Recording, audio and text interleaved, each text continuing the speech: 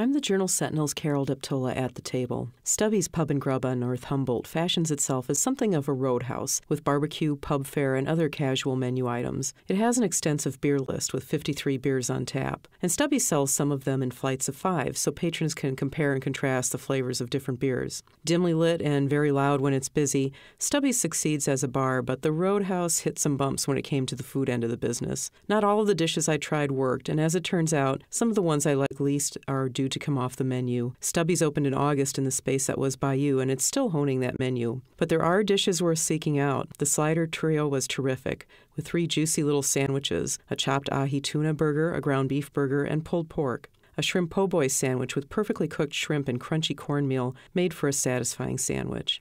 And meat lovers would enjoy Stubby's smoked barbecue. A shareable entree is the sampler platter, with a half rack of tender ribs, a moist half chicken, and a mound of pulled pork. The best dessert I tried was the banana amaretto cheesecake. A caramelized piece of banana tops it off, a nice touch. You can read more about Stubby's Pub and Grub at jsonline.com and in today's Milwaukee Journal Sentinel. For News Radio 620 WTMJ, I'm Carol Deptolla.